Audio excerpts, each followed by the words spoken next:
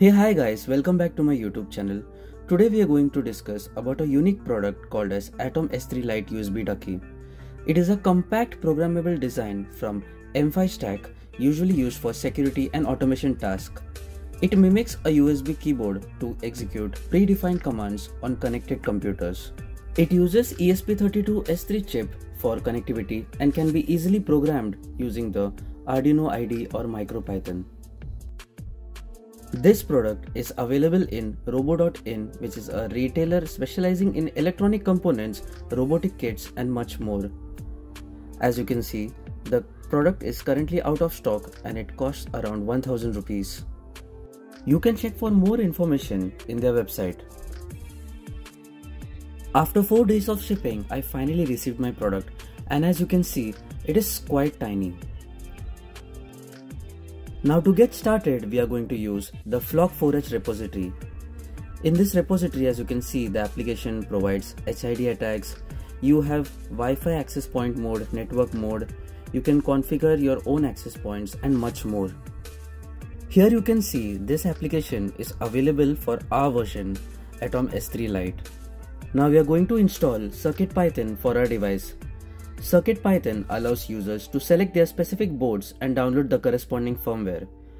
I'll search for my board Atom S3 Lite and here I'm going to download the bootloader.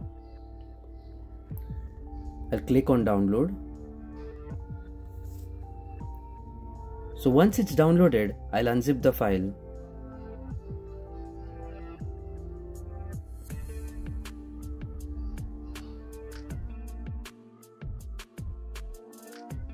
Now that it's done, we need another application, the ESP tool.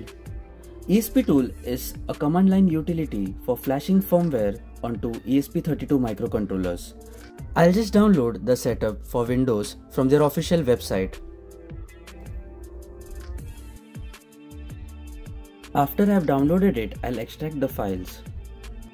ESP tool allows users to perform tasks such as erasing flash memory, writing new firmware and monitoring serial output. Now that it's done, I'll go to my bootloader file and copy the combine.bin file into the ESP tool folder. Parallelly, we'll connect our device with our laptop using the Type-C data cable. Now we'll open a CMD terminal in the given path. To find out on which port our device is connected, we'll use the mode command and here you can see it is connected on COM11. Now for a second command, we'll go back to our repository and I'll just copy this command and paste it on my terminal. We'll have to make a few changes. Now I'll just remove the excessive path since we are already in the directory. Here we'll change from COM13 to COM11 and then I'll just add a .exe here. Now that it's done, we'll start the flashing process. I'll just hit enter.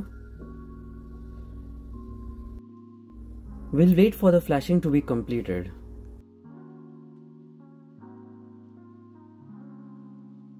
Now that our flashing has been completed, I'll disconnect the Type-C cable from my device and plug it again.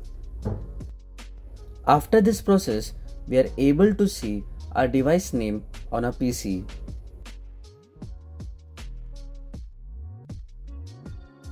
Now to install CircuitPython on this drive, I'll go back to my CircuitPython website and download the UF2 file. I'll click on download and I'll copy this file and paste it on the Atom S3 boot drive that we just created. During this process, we can see that the device will be reset automatically and a new drive will be created called as CircuitPy. Now that CircuitPython has been successfully installed on a drive, we'll go back to our GitHub repository and download the main file. After downloading the Atom Ducky zip file, I'll extract it and you can see there are two folders. Here I will copy the contents of both the folders and paste it on my CircuitPy drive.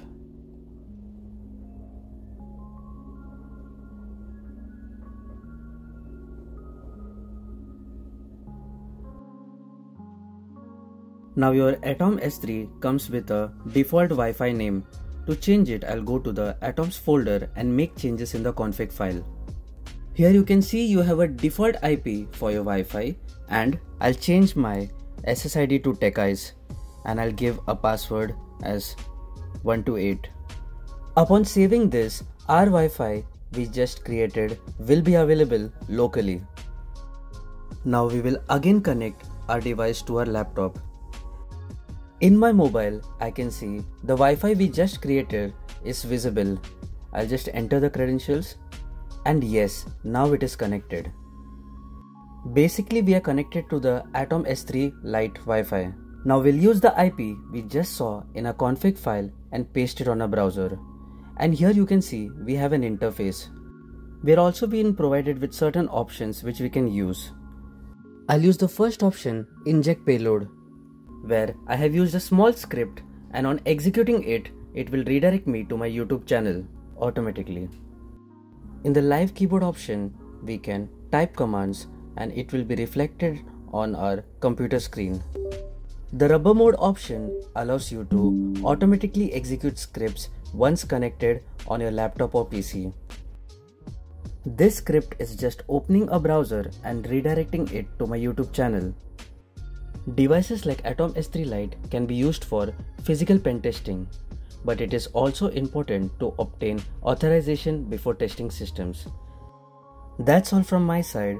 If you like this video, hit like, subscribe to my channel for further updates.